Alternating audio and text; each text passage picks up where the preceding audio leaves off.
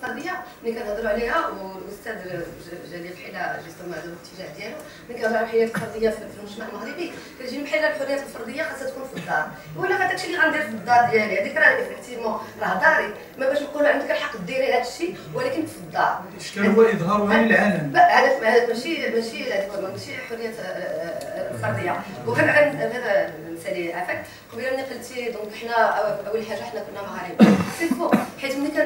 ملي كنسولوا الناس ولا ملي كنسمعوا الناس ديال المجتمع المغربي كيهضروا أول حاجة كيقولوا حنا مسلمين. هذه ديما.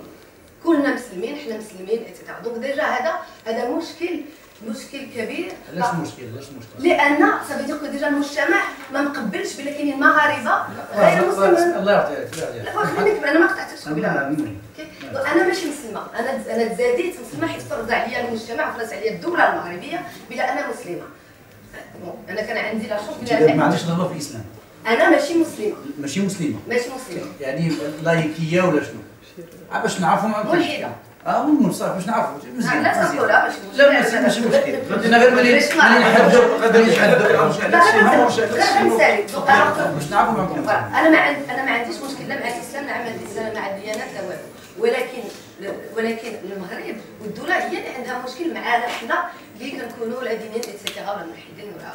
donc كتفرض علينا ملي كنتزادوا قوانين باسم الإسلام حياتنا كلها هكا باسم الإسلام. ما يمكنش هذه فينا هي حرية فردية باش أنا نختار surtout en tant que مرأة. حيت تقول لي بلا الإسلام كاين حرية المراه ما بغيت لي فينا هي حرية وحقوق المراه في الإسلام في القرآن.